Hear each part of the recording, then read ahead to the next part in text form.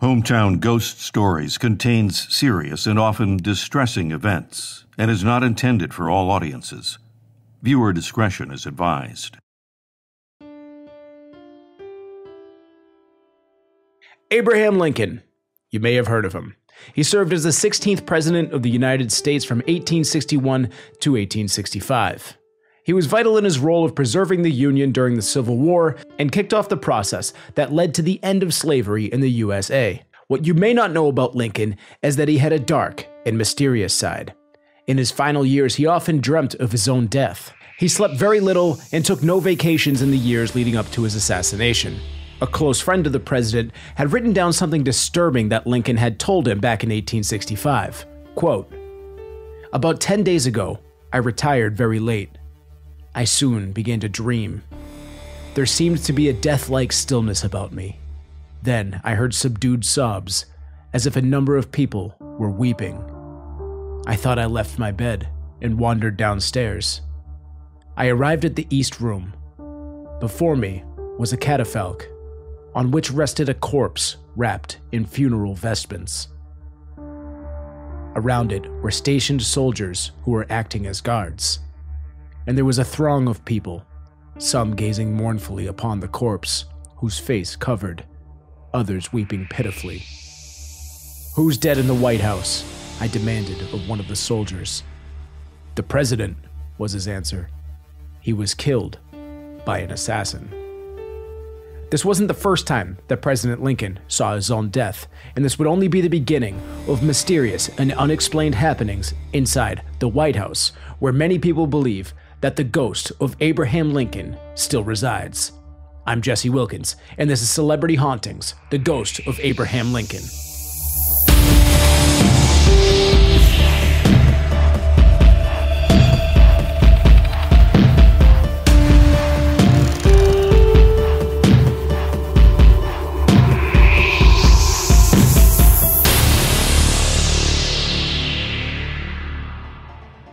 Abraham Lincoln was born on February 12, 1809, in Hardin County, Kentucky. His parents were both from Virginia, and by all accounts, he came from very humble beginnings.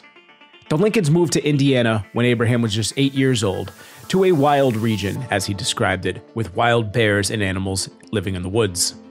On October 5, 1818, Abraham's mother died of a milk sickness when he was just nine years old. He spent his childhood working on the farm, but never really enjoyed the farmer's life, he was more interested in reading books and learning. As he grew up, he made an extraordinary effort to attain knowledge while still having to work on the farm, as well as working as a storekeeper in New Salem, Illinois. He would go on to be a captain in the Black Hawk War and spend eight years in the Illinois legislature. He was described as ambitious, restless, tall, smart, and strong. In fact, he gained reputation for his strength by winning a wrestling match versus the renowned leader of the ruffians known as the Clary's Grove Boys. So do what you will with that information. Abe's first love was Anne Rutledge, but before they could get engaged, she died of typhoid fever on August 25, 1835. He lapsed into a brief state of depression and melancholy that led to an emotional breakdown a few years later. Eventually, time would heal those wounds, and Lincoln would go on to marry Mary Todd. They would have four children, three of which would die at a young age. His son Edward died at four years old, and his son William would die of a fever inside the White House during his first term as president. Their other son Tad also died at age 18, but this was after Lincoln's death. Abraham was hit especially hard by his son William's death, and he would spend hours inside the crypt where his son was buried, just sitting there and crying. In 1858, he ran for senator against Stephen A. Douglas and lost. However, he gained national reputation, which helped him win the Republican nomination for president in 1860, ultimately going on to win the general election and becoming the 16th president of the United States of America. His presidency would be an eventful one to say the least, with the whole Civil War thing. I won't go too much into the specifics of the war, we covered a lot of that in our Gettysburg episode, and we're here to talk about the ghost of Abraham Lincoln. So his wife Mary had a strong belief in the supernatural, which influenced Abe's interest in spiritualism. However, he always remained a bit skeptical on the topic. Mary insisted on hosting seances inside the White House in attempts to contact their dead sons. Now, apparently, these seances weren't particularly successful or very eventful at all, but it's believed that Abraham Lincoln attended at least two of these seances. Now, we mentioned earlier that Lincoln had seen his own death in a dream. He even saw his own funeral, and one of his guards had told him that he was killed by an assassin. This actually wasn't the first time that he would see his own death. Soon after his election in 1860, he had seen a double image of his face reflected in a mirror in his house in Springfield, Illinois. One image was of his own face, and the other was a pale, ghostly image of himself. He stood there looking into these two images and called his wife over. Mary came over to see what he was looking at, but she didn't see the same thing that he saw. She was very disturbed by what Lincoln told her. She believed that what he was seeing in the mirror was a prophecy. The clear image representing his first term as president, that he would live it out and it would be a successful term. The second ghostly, pale white image of Abraham Lincoln represented his second term, and she believed that what he was seeing in the mirror that day was a prophecy that was saying he would not survive his second term as President of the United States of America. Unfortunately for everybody, this prophecy came true. On April 14, 1865, President Abraham Lincoln visited Ford's Theater for a showing of Our American Cousin. He was shot in the head by John Wilkes Booth and he died the next morning at 7:22 a.m. Since his death, it seems that Abraham Lincoln's ghost has never left the White House. First Lady Bird Johnson, wife of President Lyndon B. Johnson, told her press secretary that she felt Lincoln's presence one night while watching a TV program about his death. She noticed a plaque hanging above a fireplace. She had been in this room countless times, and she had never noticed this plaque before. She got up to see what it was. As she got closer to the fireplace, the room was getting colder. She didn't understand this. How come, as she was getting close to the fire, the room was getting colder? What took her by surprise was the words that were on the plaque. The plaque was all about Abe Lincoln and his importance to the room that she was standing in. She felt an overwhelming sense of unease, to a point where she actually felt it necessary to tell her tale to Liz Carpenter, who relayed the story to author John Alexander, and thus, the tales of Abraham Lincoln's ghost haunting the White House was told to the masses. From there, the hauntings became a bit more clear and a lot more terrifying. Calvin Coolidge's wife, Grace Coolidge, was the first person to report actually seeing the ghost of Abraham Lincoln. She spotted the full bodied apparition of Abraham Lincoln standing in the Oval Office, staring out the window. He had his arms behind his back as he was looking out over the Potomac. Ronald Reagan's dog Rex seemed to sense the ghost in the White House. He would reportedly bark at corners, and in one instance, he stood up on his hind legs, staring at the ceiling, which is something that he had never done before. Reagan believed that Rex was seeing a ghost, and he believed that this ghost was Abraham Lincoln. Reason being, there wasn't a room in the White House that Rex wouldn't enter, except for one room in particular, and that was Lincoln's bedroom. During FDR's presidency, Queen Wilhelmina of the Netherlands was visiting the White House. In the middle of the night, she got a loud knock at her door. Startled, she woke up thinking there might be some sort of an emergency. As she went over to the door and swung it open, there standing in front of her was Abraham Lincoln, top hat and all. She was so scared that she actually fainted. When she came to, she was lying on the bedroom floor and the ghost had vanished. Eleanor Roosevelt used Lincoln's bedroom as a study, and although she denied ever seeing the ghost for herself, she claimed that she always felt his presence there while working alone at night. She could feel him standing behind her and peering over her shoulder, almost as if he was looking over what she was working on. Abraham Lincoln was an avid reader throughout his entire life, perhaps that didn't change in death. Winston Churchill was staying at the White House. One evening, after climbing out of the bath, he spotted Lincoln's ghost standing by the fireplace. Abraham Lincoln was leaning against the mantel, and Winston Churchill was completely naked. He had nothing but a cigar in his hand. He tapped on the cigar and said to the ghost, Good evening, Mr. President. You seem to have me at a disadvantage. The ghost of Lincoln apparently laughed at this remark and then he vanished. Other reports of Lincoln's ghost in the White House claim that his footsteps can be heard in the halls outside of the Lincoln bedroom, as told by Lillian Rogers Parks in her 1961 autobiography, My 30 Years Backstairs at the White House. President Harry Truman's daughter said she heard a specter rapping at the door of the Lincoln bedroom during her stay, and President Truman himself was also awakened by the same sounds while sleeping in the same room on a different night. Several eyewitnesses claimed to see the shadow of Abraham Lincoln lying on a bed in the Lincoln bedroom, which we should clarify was not actually where Abraham Lincoln slept. It's just called the Lincoln bedroom, but he held many of his meetings here. That doesn't mean he never actually fell asleep in this room, but he did not go to bed inside the Lincoln bedroom. Still, others claim that they see his ghost sitting on the edge of the bed, putting on his boots. Eleanor Roosevelt's secretary Mary Eben saw this ghost putting on his boots, and she ran screaming from the room. So apparently, the White House is not the only place that Abraham Lincoln's ghost seems to visit. He reportedly also haunts his former home in Illinois. And ladies and gentlemen, I'm proud to announce that we have our second ghost train here on Hometown Ghost Stories Lincoln's Funeral Train. In 1865, the U.S. Railroad started work on a luxury steam locomotive to bring the president around. Abe would be assassinated before its completion, but after his death, they would finish the project and use it as a funeral train to bring Lincoln's dead body around the country to his 12 different funerals. Now, this would be the only time that the train would be used, and they would never use it again, calling it the Lincoln Memorial. Now, every year around the anniversary of his death, people claim to see the ghost train passing through their train stations. Witnesses claim to hear the train whistle. Then they see the funeral train pulling several carts, all of them draped in black. Other witnesses have claimed to see skeletons riding in these carts. And one of the crazier claims is probably that these skeletons are actually playing instruments. Now, you can never hear the music that they're playing, but apparently they see these skeletons through the window. Most say the train passes right by the station, and others report seeing the train stop at the station for as long as 20 minutes. Abe's son William, who died of typhoid in 1862 inside the White House, also reportedly haunts the place. His ghost has been seen as recently as 1960 when Lyndon Johnson had a conversation with the ghostly boy before he vanished. And finally, we should mention this photo. Mary Todd Lincoln had this picture taken after the death of her husband, which appears to show the ghost of Abraham Lincoln standing behind her.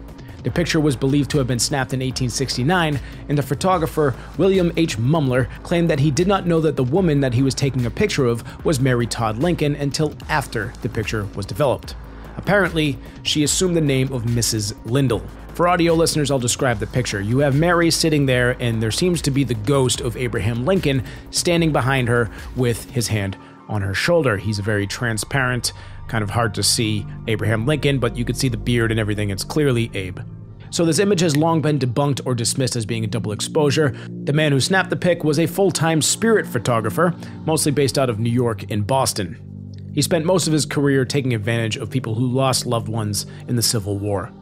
And he was eventually taken to court and tried for fraud and larceny, but a judge had acquitted him of these crimes.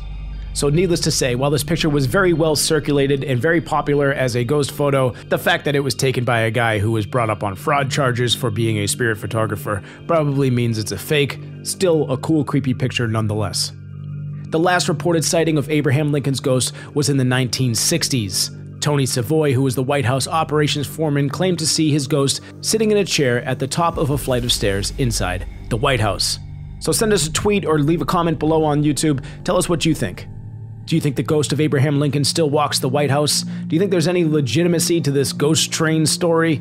Well, stick around as Rob, Dave, and myself discuss all of the hauntings and paranormal activity surrounding the ghost of Abraham Lincoln.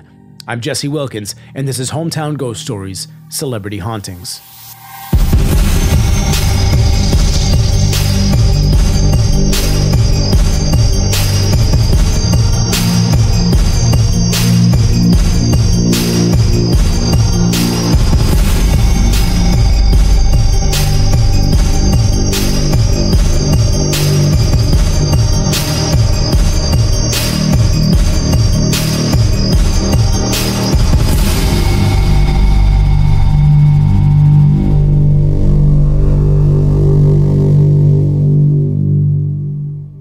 Going on, folks? Welcome into Hometown Ghost Stories, the latest installment of Celebrity Hauntings. Today we're talking about the ghost of Abraham Lincoln. I'm Jesse Wilkins. I'm joined by Rob Coakley. Hello, Rob. The ghost train one is very creepy. I can't wait to dive into that a little bit. Love it. And uh, we're also joined by Dave. Hello, Dave. Hello. Good to be here, as always. It's good to have you. Yeah, the ghost train. That's a that's an interesting one. Let's start with the ghost train because I think it's kind of a lesser of the haunting. We do have our second official ghost train here, and it's mm. always fun to talk about ghost trains. And the story kind of gets wilder and wilder. So you have obviously people see the train coming. It's always around the anniversary of his death, and it's pulling several carts. All of these carts are draped in black. That's how it was when the funeral train went by. We included a few picture of pictures of the train for audio listeners. You can Google images of the train. There's still a few of them circulating online, and you can see it. They have like a there's like an actual picture of Abraham Lincoln on the front of the train, and then there are the carts which are draped in black drapery, if you will, and um, yeah. So that, a that was elegant way with words there, Jesse. yes, yes. That's that's why I'm here. That's why I paid the big bucks. But the I think first train, so eloquent is the word you're looking for. Shut up, Dave. No one wants to hear from you. Sorry. thanks for uh riding on my ghost train. Anyways, the so they hear they hear the train whistle, very similar to the last uh, ghost train that we covered, which I don't remember where that was. Where was the last ghost train? It was not Oh, in the that- city that we covered. um, Was North it Carolina. North Carolina. Yeah. Charlotte, Charlotte, North Carolina, but the Ringing ghost train was actually in a, a, a nearby town. Anyways, so similar to that one, they would hear the the train, uh, they would hear the whistle, they would see the smoke, they would actually see the train show up to the station, and there's some varying accounts. So some accounts say that it goes right past the train the, the train station before disappearing, and some say that it actually stops at the station for up to 20 minutes. Now, I'm no I'm no expert here, although I pretend to be. I would assume that if this train was sitting there, a ghost train for 20 minutes, there would probably be some photos of it. But who's to say that the ghost train shows up in photos? And I don't want to discount anyone's accounting uh, of seeing a ghost train. But if I saw a ghost train Fair point. parked at a train station for 20 minutes, I would find a way to take a picture, even if I didn't have a camera on me. At that point, I mean, you have 20 minutes, you make a fucking oil painting of the thing, right? I know, right? but um, there's that, and then there's the crazier claims that I don't know if I believe, but they are definitely super creepy and super awesome, which is that they actually see skeletons riding in the carts, and as these claims get deeper, they say that these skeletons can actually be seen playing instruments, which is Ooh. absolutely awesome. That's a new first here on Hometown Ghost Stories is these ghost skeletons playing instruments, but they say you can never hear the music, which is a little bit of an eerie kind of um, detail about the story. Yeah, and there's a lot of detail with this. So, uh, you know, there's so many ghost stories that we cover or like ghost sightings that we cover where they're so vague and there's almost nothing to talk about. This one has so much detail and so many different layers.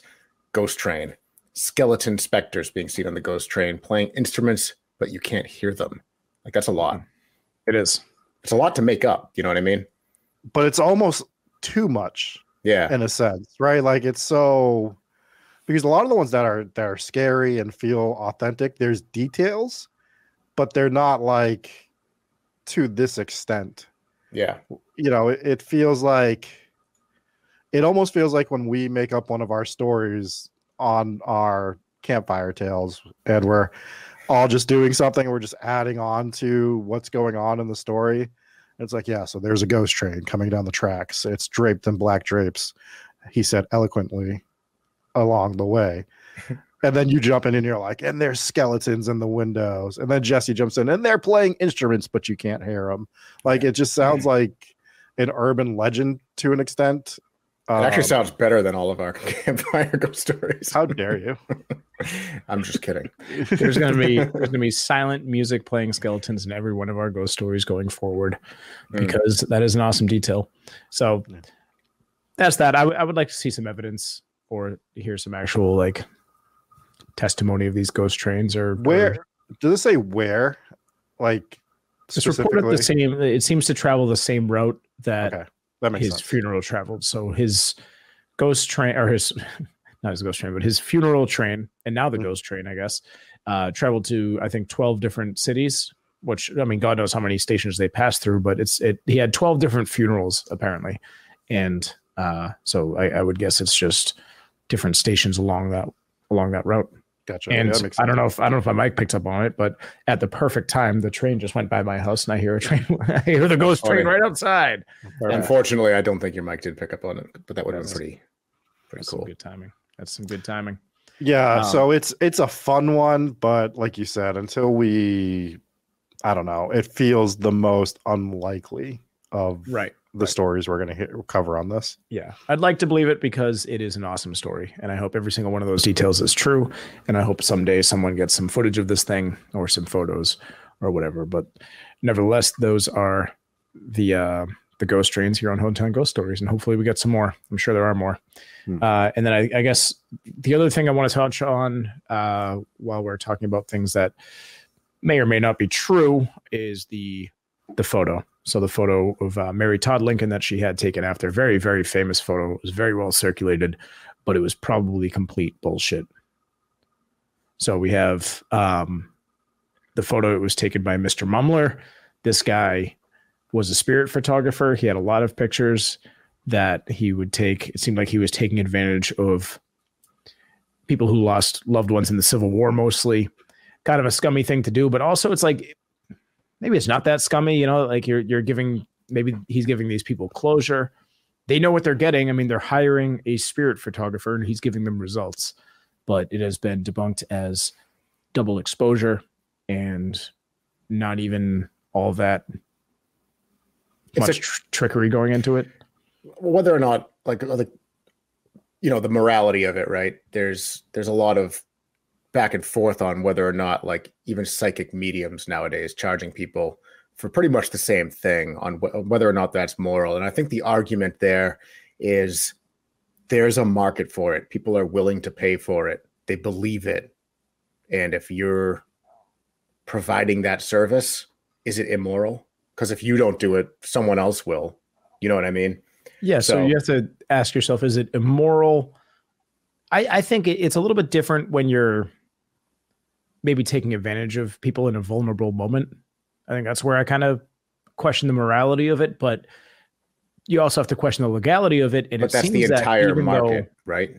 no, no, I agree with you actually, and I don't think he should have been charged with anything, and he wasn't a judge throughout the case because th- these people are getting what they paid for, right? It while it does seem like a bit of a con man type thing to do, and while I don't think a single one of these photos actually shows a ghost, he's providing a service. He is a he's labeling himself as a spirit photographer, and he's taking pictures, and whether or not he's manipulating the photos, which I so I guess that's that's the difference, right? So if he is manipulating the photos, then I feel like that is immoral, right? Because you're not like a like a medium is actually. I believe some of them are are, are phonies, but I, I believe a lot of them believe that you know believe what they're doing, and what do I know? Maybe what they're doing is legitimate, right? And Well, there's are- been, you're right. I mean, there, there's been so many cases where police are hiring psychic mediums and different Lorraine people. Warren. uh, Yeah, and different people in this field that seem like they're completely legitimate and they know information that there is no humanly there, there's no possible way for these people to to just know these details about things. So I I do believe that there's a lot of legit ones. I do believe that there's a bunch of cornball fake ones out there, and um, I have a special place in my heart for all the hate that I store for for fake mediums.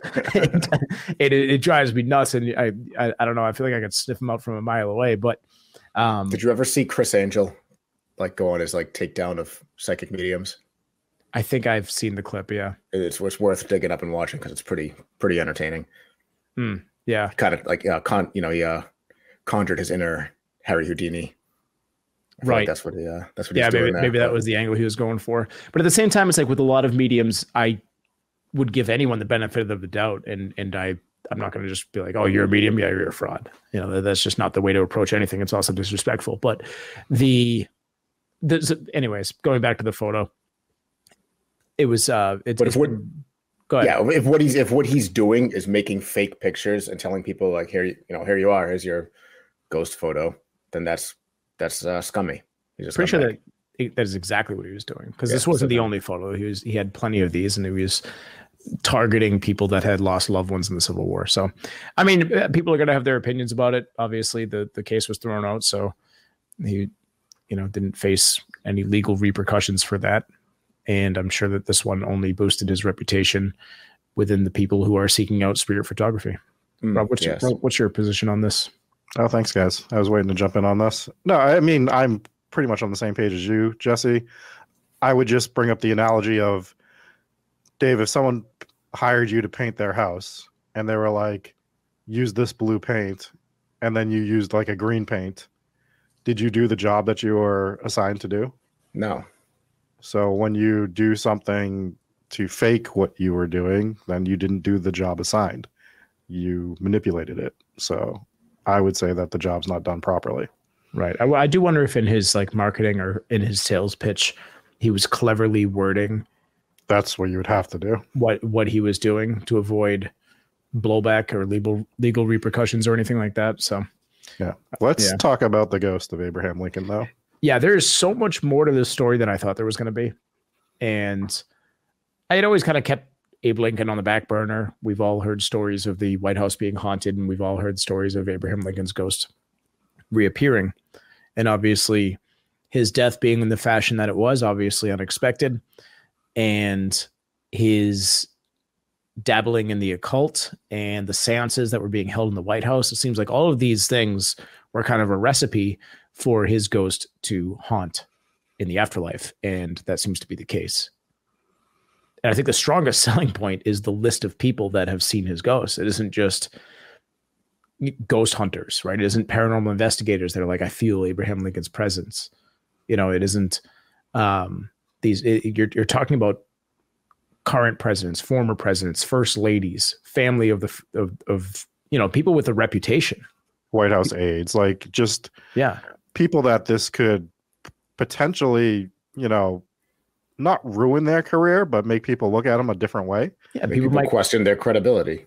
Right. This is why a lot of scientists won't jump into the field and actually legitimately try to prove the existence of ghosts because they're afraid of people questioning their credibility. Yeah, I mean, geez, all the the- time. Sitting president, you know, prime ministers, like these are, you know, powerful people that are not afraid to talk about their experience at the White House.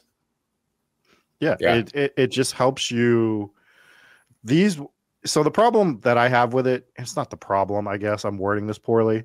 Is we're giving these people a bigger list of credibility than just like you know the normal person that owns a house and says that their house is haunted, because those people could just be as credible. It's just we know who these people are, so that helps us lend like oh, you know if Eleanor Roosevelt is telling us that and Winston Churchill is telling us that they are smart people that have done things throughout his history Right. that are I think the good. most important point is they've earned the trust of millions of people. Right. And if they felt that this was something that would shake that core and maybe lose some of the, you know, some trust that people that people have in them, then maybe they wouldn't take this risk of going out and saying I saw a ghost.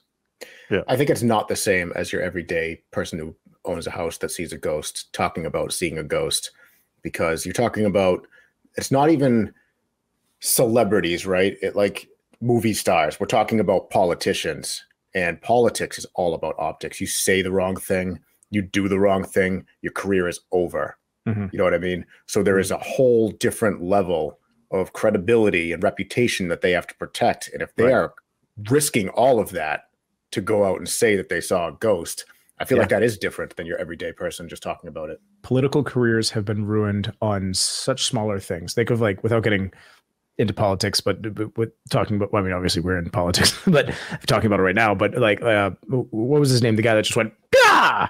That was Oh, who yeah, I was uh, over. yeah, Is that Howard Dean? Howard Dean, I think. Howard Dean. End of his Yep. political career, right there. He just made a noise.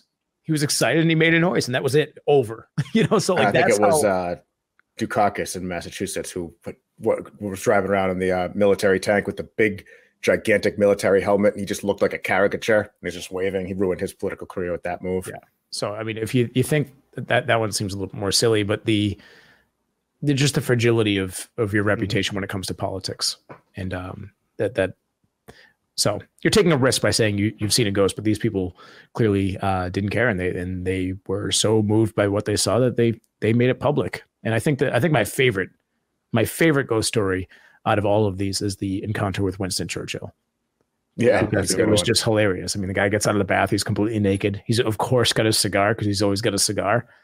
And Abe Lincoln's just leaning against the fireplace, just standing there. He's, he's just that's a good "Oh, one. You seem to have me at a disadvantage. And uh, and I guess they, they, this is the first time I've heard like the ghost just Abe Lincoln's ghost just like kind of chuckled and then and then vanished. Like he thought it was funny. Like he responded So he's he's he's got to be some sort of an intelligent haunting.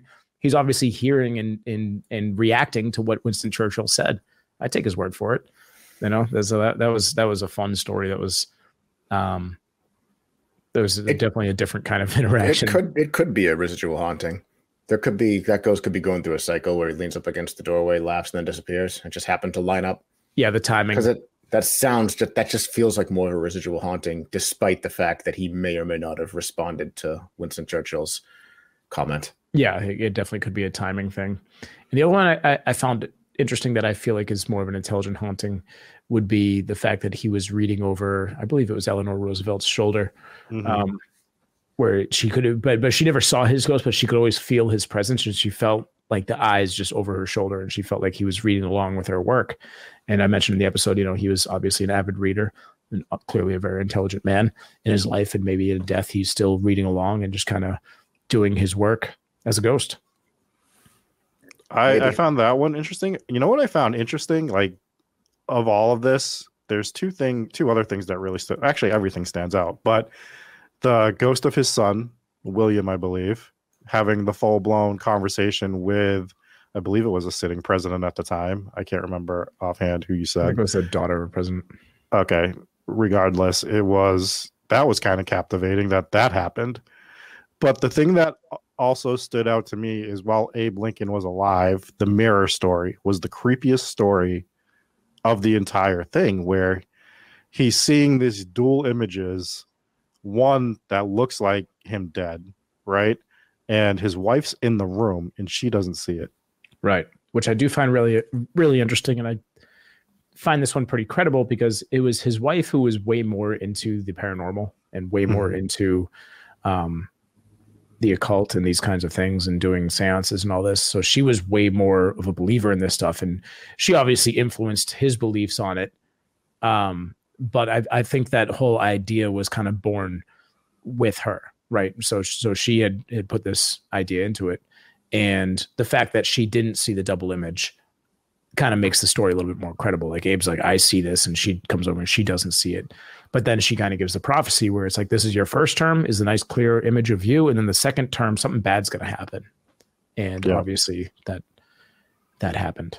That's so. an interesting um, depiction of what was going on in the photo too like mm-hmm. to break it down in that manner like how you got there i'd like to know what made her get to that point for for that decoding of what he was seeing that's a great point yep and then the other uh, time that he kind of saw his death coming was the quote that we opened up the episode with which was a direct quote from I, actually don't really know who it was. It was somebody he had told this to somebody and they had wrote it down what he had said. So uh, it is a direct quote from the secondary source. But so that was word for word where he was basically just he was seeing his own funeral, right? He was uh, walking around the White House during his own funeral, and he but he he didn't recognize it as his own funeral at first, and he asked the uh, soldiers who were standing there guarding his body, he's like you know, who's dead in the White House? And they're like, it's the president.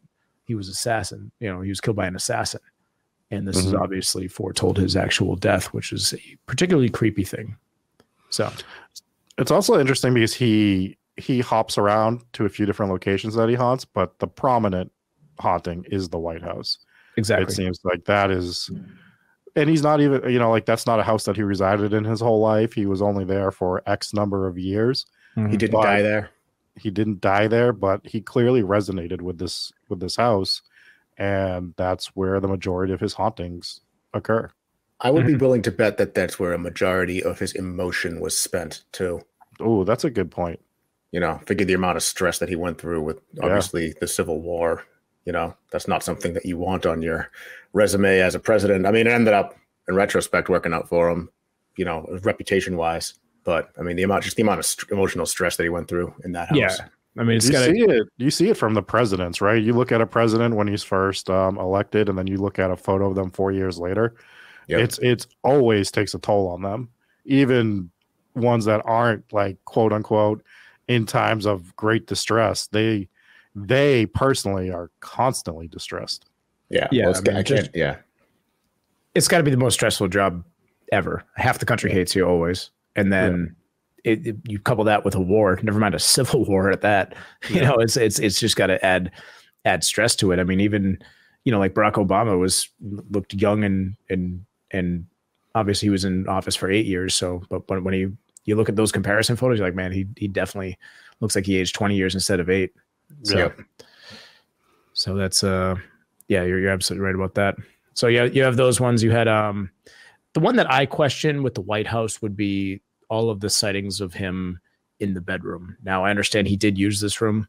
It's called the Lincoln bedroom. This is not where mm-hmm. he slept, but he did hold lots of meetings here. It was kind of like his main. He, obviously, it's not the Oval Office, but he held a lot of meetings here. But the ones that I would question is why are people seeing him laying on the bed? Now we don't make the rules. We say this every episode. Maybe his ghost wants to lay down on the bed.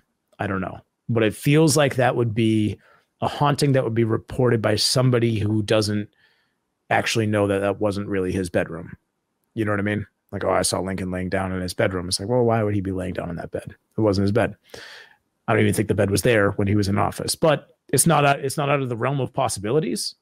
And it, sure. And then the other ones are people seeing him It's put a- on his boats. his it's a boots. f- sorry it's a fair point but like and i and i agree with you like it's a tough one to swallow but my only pushback would be we don't know if there was a couch in that room that he constantly lay down on um and we talked about he might just be a not a residual haunting he might be uh um sorry words Okay. escaping me An intelligent. intelligent. an, haunting. an intelligent haunting so if he's an intelligent haunting he just might use what is in the room so Yeah. He sees a bed, he wants to lay down. but i but i do like i'm not discrediting your thought it just Right. And I'm not this is a discrediting these these people's claims. You know what I mean? Like like we said, it, it's completely possible that he could lay down on the bed or sit on the bed and put on his boots like people had seen. And it's been such clear um sightings of him that it's caused people to get up and scream and run out of the room. Like the, his ghost is seen all the time in the White House. And there's other hauntings in the White House too. I left them out because I don't know if like there's there's so much here that we could do an episode just on the White House. Obviously, Yeah. we would have to recap most of the stories that we already told, or all of them, then add a lot more. So maybe way down the line, we we do a whole episode on the White House. Absolutely But there's there's been a bunch of stuff that happens here. Other presidents have been seen. There's been singing heard from the fireplaces. Like there's all sorts of weird things that that aren't necessarily Abraham Lincoln's ghost. And obviously, um, a building like that that's so important and has been there for so long with so many different people funneling through it every single day. Multiple people have died inside there and everything. That it's uh it's it's like insane to think that the place would not be haunted. Yeah. I mean, it, it's a great it's a great story, and yes, we definitely have to cover the White House in the future on an episode, and more of Washington D.C. Mm. I think he's even been seen at his monument, right?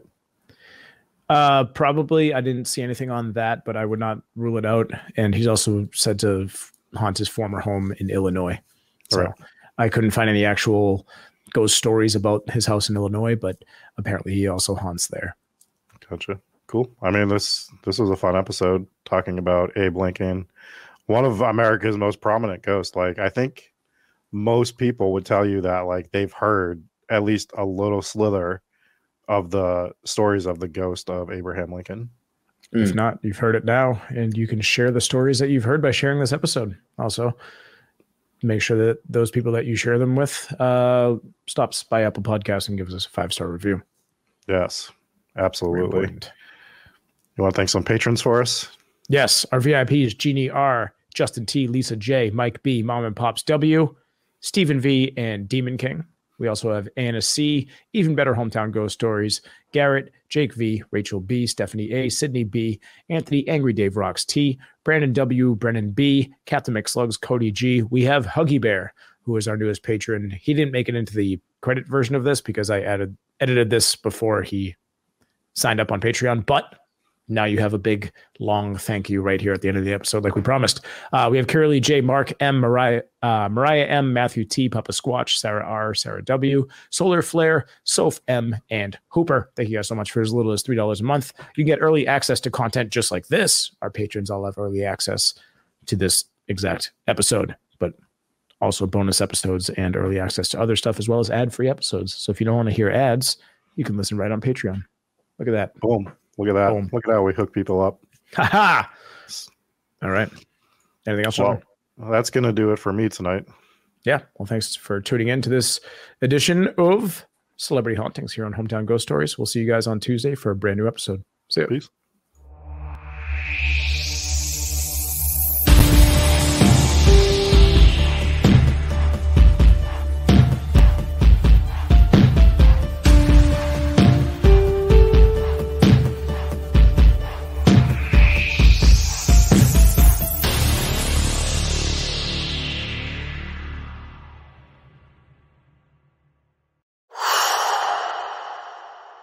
What's up, ladies and gentlemen? Jesse Wilkins here, Hometown Ghost Stories. Hope you enjoyed that episode. For more bonus side content episodes, swing on over to Patreon, get early access to this stuff, as well as some Patreon exclusive stuff. For as little as $3 a month, you can join on Patreon and help support the crew. We put a lot of money, effort, resources into these videos, and every little dollar helps. So consider it also uh, swing on over to the discord. On the discord you can get access to us you can contact us you can share your stories share your ghost pictures. Uh, it's just a better way to contact us. So swing on over to discord. The link is below. It is free to join completely free. Also here are some other episodes that you can check out. Boom boom. Check out those videos. Really cool stuff. We'll talk to you soon. Bye